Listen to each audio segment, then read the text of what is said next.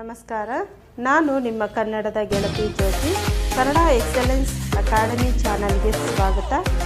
ಈ ವಿಡಿಯೋದಲ್ಲಿ ನಾವು ಸಾಂಸ್ಕೃತಿಕ ರಾಜಧಾನಿ ಮೈಸೂರು, ಅಂದರೆ ಸಾಂಸ್ಕೃತಿಕ ನಗರ ಎಂದು ಮೈಸೂರನ್ನು ಏಕೆ ಕರೆಯುತ್ತೇವೆ? ಹಾಗೆ ಕರೆಯಲು ಕಾರಣವೇನು? ಹಾಗೂ ಮೈಸೂರಿನಲ್ಲಿ ನಮಗೆ ಗೊತ್ತಿಲ್ಲದ ಅನೇಕ ಸ್ಥಳಗಳು ಯಾವ ಯಾವ, ಯಾವುದ್ಯಾವುದು? ಅವುಗಳ ಬಗ್ಗೆ ಸಂಪೂರ್ಣವಾದ ವಿವರಗಳನ್ನು ನಾವು ಈ ವಿಡಿಯೋ ಮುಖಾಂತರ ತಿಳಿದುಕೊಳ್ಳೋಣ.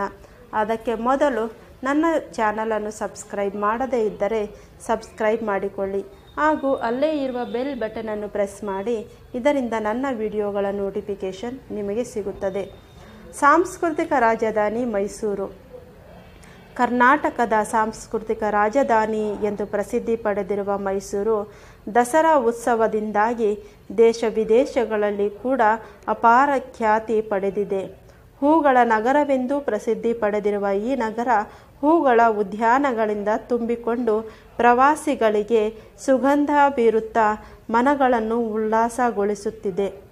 ಕಲೆ, ಶಿಕ್ಷಣ, ಸಾಹಿತ್ಯ, ಸಂಸ್ಕೃತಿ ಕ್ಷೇತ್ರಗಳಲ್ಲಿ ಗಮನಾರ್ಹವಾಗಿರುವ ಸಾಧನೆಗಳನ್ನು ಸಾಧಿಸಿ ಎಂದೂ ನವನಾಗರಿಕತೆಗೆ ಹೆಚ್ಚು ಬಲಿಯಾಗದೆ, ತಳುಕಿಗೆ ಬಾಗದೆ ಪಟ್ಟಣದ ಸೊಗಡನ್ನು ಮತ್ತು ಹಳ್ಳಿಯ ಮುಗ್ಧತೆಯನ್ನು ಇನ್ನೂ ಉಳಿಸಿಕೊಂಡಿರುವ ಈ ನಗರ ಪಿಂಚಣಿದಾರರ ಸ್ವರ್ಗ ಎಂದು ಖ್ಯಾತವಾಗಿದೆ. ಮಾಧುರಿ ಸಂಸ್ಥಾನವೆಂದೇ ಬ್ರಿಟಿಷರ ಕಾಲದಲ್ಲಿ ಪ್ರಶಂಸೆ ಪಡೆದಿದ್ದ ಹಳೆಯ ಮೈಸೂರಿನಲ್ಲಿ ಅಂದಿನ ರಾಜರು ವಾಸಿಸುತ್ತಿದ್ದರಿಂದ ಪ್ರಮುಖ ನಗರ ಎಂಬ ಹೆಗ್ಗಳಿಕೆಗೂ ಪಾತ್ರವಾಗಿರುವ ಈ ನಗರ ಅದಕ್ಕಿಂತ ಮುಖ್ಯವಾಗಿ ಸಾಂಸ್ಕೃತಿಕ ಚಟುವಟಿಕೆಗಳಿಂದ ಮತ್ತು ಕಲಾ ವೈಭವದಿಂದ ಮೆರೆಯುತ್ತಾ ಸಾಂಸ್ಕೃತಿಕ ರಾಜಧಾನಿ ಎಂಬ ಹೆಸರನ್ನು ಸಾರ್ಥಕಪಡಿಸಿಕೊಂಡಿದೆ. ಐತಿಹ್ಯದ ಪ್ರಕಾರ ಹಿಂದೆ ಈ ಪ್ರದೇಶವನ್ನು ಮಹಿಷಾಸುರ ಎಂಬ ದುಷ್ಟ ರಾಕ್ಷಸ ಆಳುತ್ತಿದ್ದ. ಅವನ ಉಪಟಳದಿಂದ ಬೆಂದ ಜನರು ಚಾಮುಂಡೇಶ್ವರಿಯ ಮೊರೆ ಹೋದರು. ಶರಣಾದವರನ್ನು ಕಾಯುವ ದೇವಿ ಚಾಮುಂಡಿ ತನ್ನ ವಾಹನ ಸಿಂಹವನ್ನೇರಿ ಬಂದು ಈ ದುಷ್ಟನನ್ನು ಕೊಂದು ಭಕ್ತ ಜನರನ್ನು ಅವನ ಹಿಂಸೆಯಿಂದ ಪಾರು ಮಾಡಿದಳು. ಈ ಐತಿಹ್ಯದ ಪ್ರಕಾರ ಆ ಪ್ರದೇಶವನ್ನು ಆಳುತ್ತಿದ್ದ ಮಹಿಷಾಸುರನ ಹೆಸರಲ್ಲಿ ಈ ಊರು ಮಹಿಸೂರು ಎಂದಾಯಿತು. ಬರಬರುತ್ತಾ ಜನರ ಬಾಯಲ್ಲಿ ಅದು ಮೈಸೂರು ಎಂದು ಬದಲಾಗಿ ಆ ಹೆಸರೇ ಚಾಲ್ತಿಗೆ ಬಂತು. ಚಾಮುಂಡಿ ಬೆಟ್ಟದ ಮೇಲಿರುವ ಮಹಿಷಾಸುರನ ವಿಗ್ರಹವನ್ನು ಹಿಂದೂ ಪ್ರವಾಸಿಗರು ಕಾಣಬಹುದಾಗಿದೆ. ದಕ್ಷಿಣ ಭಾರತದ ಹಲವಾರು ರಾಜಮನೆತನಗಳು ಈ ಪ್ರದೇಶವನ್ನು ಆಳಿವೆ. ಅವುಗಳಲ್ಲಿ ಮುಖ್ಯವಾಗಿ ಶಾತವಾಹನ, ಕದಂಬ, ಗಂಗಾ, ಬಾದಾಮಿ, ಚಾಳುಕ್ಯ, ರಾಷ್ಟ್ರಕೂಟ, ಹೊಯ್ಸಳ ರಾಜಮನೆತನಗಳನ್ನು ಹೆಸರಿಸಬಹುದು. ಸುಮಾರು ಐನೂರು ವರ್ಷಗಳ ಕಾಲ ಮೈಸೂರನ್ನು ಆಳಿದ ಒಡೆಯರು ಈ ನಗರದ ಹಾಗೂ ಸಂಸ್ಥಾನದ ಕೀರ್ತಿಯನ್ನು ಹೆಚ್ಚಿಸಿದ್ದಾರೆ. ಮೈಸೂರು ಅರಸರ ಕುಲದೇವತೆಯಾಗಿರುವ ಚಾಮುಂಡೇಶ್ವರಿಯ ದರ್ಶನ ಮಾಡಲು ಭಕ್ತರು ಮತ್ತು ಪ್ರವಾಸಿಗರು ಚಾಮುಂಡಿ ಬೆಟ್ಟ ಹೇರಿ ದೇವಿಯ ದರ್ಶನ ಮಾಡುತ್ತಾರೆ. ಬೆಟ್ಟ ಹೇರಿದ ಭಕ್ತರು ಮಧ್ಯದಲ್ಲಿ ಹದಿನಾರು ಅಡಿ ಎತ್ತರದ ಸುಂದರ ನಂದಿ ವಿಗ್ರಹವನ್ನು ಕಂಡು ಆಯಾಸವನ್ನು ಮರೆತು ಕೈಮುಗಿಯುತ್ತಾರೆ. ಈ ಬಹು, ಬೃಹತ್ ಗಾತ್ರದ ನಂದಿಗೆ ಸರಿಸಮವಾಗಿರುವ ನಂದಿ ಬೇರೆಲ್ಲೂ ಇಲ್ಲ. ಚಾಮುಂಡಿ ಬೆಟ್ಟದ ಮೇಲೆ ರಾಜೇಂದ್ರ ವಿಲಾಸ ಅರಮನೆ ಇದೆ. ಇಲ್ಲಿಂದ ರಾತ್ರಿ ವೇಳೆ ಮೈಸೂರು ನಗರದ ಚೆಲುವನ್ನು ಕಣ್ಣು ತುಂಬ ತುಂಬಿಕೊಳ್ಳಬಹುದು.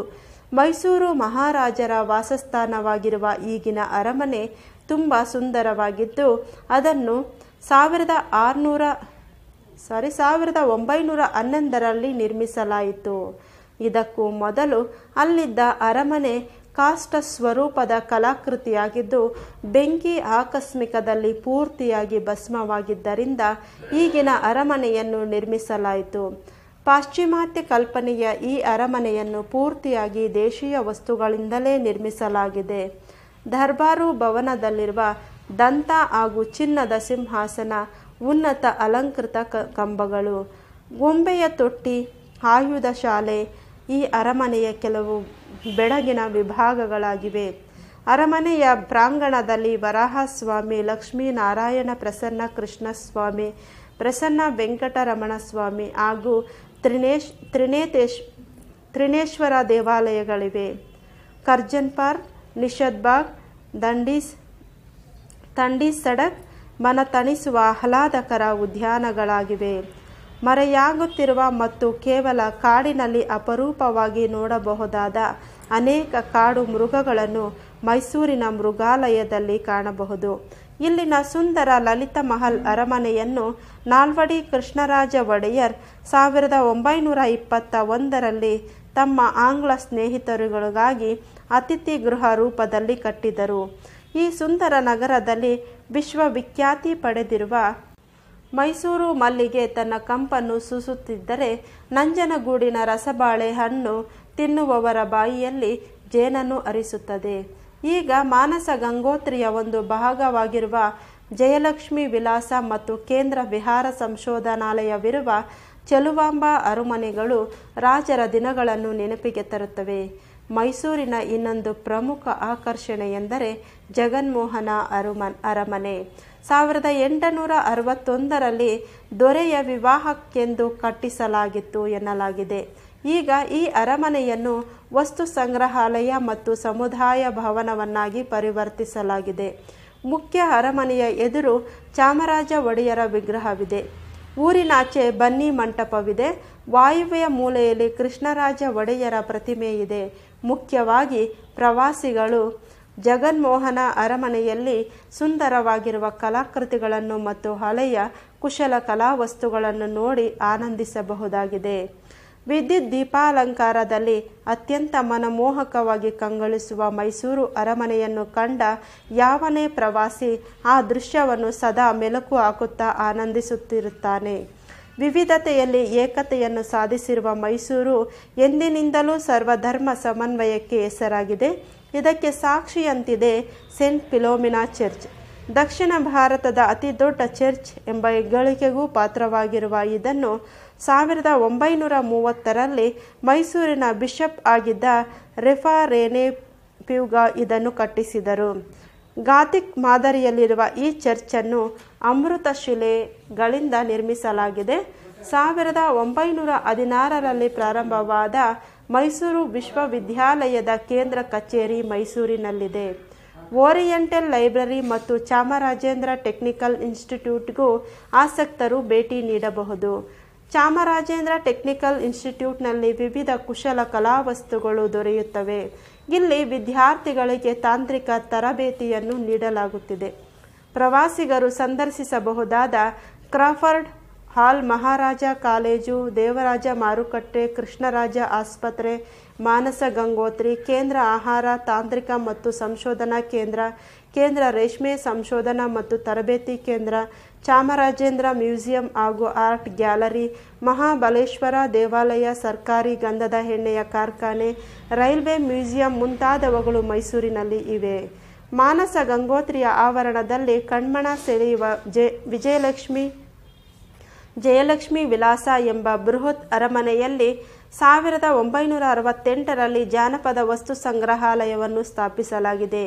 ಇದು ದಕ್ಷಿಣ ಏಷ್ಯಾದಲ್ಲಿಯೇ ಅತಿ ದೊಡ್ಡ ಜಾನಪದ ಸಂಗ್ರಹಾಲಯ. ನವರಾತ್ರಿಯ ಕಾಲ ಮೈಸೂರು ಸಂಭ್ರಮಿಸುವ ಕಾಲವಾಗಿದ್ದು, ದೇಶ ವಿದೇಶಗಳಿಂದ ಲಕ್ಷಾಂತರ ಮಂದಿ ಪ್ರವಾಸಿಗರು ಈ ವೈಭವವನ್ನು ಅದರಲ್ಲೂ ಮುಖ್ಯವಾಗಿ ವಿಜಯದಶಮಿಯಂದು ನಡೆಯುವ ಜಂಬೂ ಸವಾರಿಯನ್ನು ವೀಕ್ಷಿಸಲು ಆಗಮಿಸುತ್ತಾರೆ. ಒಡೆಯರ ಕಾಲದ ನವರಾತ್ರಿ ಇಂದು ನಾಡ ಹಬ್ಬವಾಗಿ ವಿಶೇಷ ಮೆರಗನ್ನು ಪಡೆದು ವಿಜೃಂಭಿಸುತ್ತಿದೆ. ಈ ಕಾಲದಲ್ಲಿ ನಡೆಯುವ ದಸರಾ ವಸ್ತು ಪ್ರದರ್ಶನ ಜನರನ್ನು ವಿಶೇಷವಾಗಿ ಆಕರ್ಷಿಸುವುದು. ವಿಜಯದಶಮಿಯಂದು ನಡೆಯುವ ಜಂಬೂ ಸವಾರಿಯ ಜತೆಯಲ್ಲಿ ಅಂದಿನ ರಾತ್ರಿ ಜರುಗುವ ಪಂಜಿನ ಕವಾಯತ ಬಹಳ ಪ್ರಸಿದ್ಧಿಯಾಗಿದೆ. ಮೈಸೂರನ್ನು ಸಂದರ್ಶಿಸುವ ಪ್ರವಾಸಿಗರಿಗೆ ಇನ್ನೊಂದು ಆಕರ್ಷಣೀಯ ಸ್ಥಳವೆಂದರೆ ಬೃಂದಾವನ. ಕೃಷ್ಣರಾಜ ಸಾಗರ ಅಣೆಕಟ್ಟಿನ ಪ್ರದೇಶದಲ್ಲಿ ನಿರ್ಮಿಸಲಾಗಿರುವ ಉದ್ಯಾನವನವನ್ನೇ ಬೃಂದಾವನ, ಕಾಶ್ಮೀರದ ಶಾಲಿಮಾರ್ ತೋಟವನ್ನು ಹೋಲುವ ಈ ಸುಂದರ ತೋಟವನ್ನು ಸಾವಿರದ ಒಂಬೈನೂರ ಮೂವತ್ತಾರರಲ್ಲಿ ಮೀರ್ಜಾ ಇಸ್ಮಾಯಿಲ್ ದಿವಾನರಾಗಿದ್ದಾಗ ಅಭಿವೃದ್ಧಿಗೊಳಿಸಲಾಗಿತ್ತು. ಮೈಸೂರಿನ ಸುತ್ತಮುತ್ತ ನೋಡಬೇಕಾದ ಅನೇಕ ಪ್ರವಾಸಿ ಸ್ಥಳಗಳಲ್ಲಿ ಶಿವನ ಸಮುದ್ರ ಹಾಗೂ ಗಗನಚುಕ್ಕಿ, ಭರಚುಕ್ಕಿ ಜಲಪಾತಗಳು ಕಾವೇರಿ ಮತ್ತು ಅರ್ಕಾವತಿ ನದಿಗಳು ಸೇರುವ ಸುಂದರ ಸ್ಥಳ ಮೇಕೆದಾಟು. ಮಹದೇಶ್ವರ ದೇವರಿಂದಾಗಿ ಪ್ರಸಿದ್ಧಿ ಪಡೆದಿರುವ ಮಹದೇಶ್ವರ ಬೆಟ್ಟ, ಶ್ರೀರಂಗಪಟ್ಟಣ, ಅದರ ಹತ್ತಿರದಲ್ಲಿರುವ ಪಕ್ಷಿಧಾಮ ರಂಗನತಿಟ್ಟು, ಮೇಲುಕೋಟೆ, ಸೋಮನಾಥಪುರ, ನಂಜನಗೂಡು, ತಲಕಾಡು ಮುಂತಾದವುಗಳು ಮುಖ್ಯವಾದವುಗಳು. ಹೀಗೆ ಮೈಸೂರು ಕರ್ನಾಟಕದ ಸಾಂಸ್ಕೃತಿಕ ರಾಜಧಾನಿಯಾಗಿದೆ. ಮೈಸೂರಿನ ದಸರಾವನ್ನು ಕಣ್ತುಂಬಿಕೊಳ್ಳುವ ಎಲ್ಲ ಕನ್ನಡಿಗರಿಗೂ ನನ್ನ ಈ ಧನ್ಯವಾದಗಳು. ಮತ್ತು ಮೈಸೂರಿನ ಸಾಂಸ್ಕೃತಿಕ ನಗರ ನಗರ, ನಗರಕ್ಕೆ ನನ್ನ ಅಭಿವಂದನೆಗಳು, ಧನ್ಯವಾದಗಳು. ಈ ಮಾಹಿತಿ ನಿಮಗೆ ಇಷ್ಟವಾಗಿದ್ದರೆ ಮತ್ತು ಈ ವಿಡಿಯೋ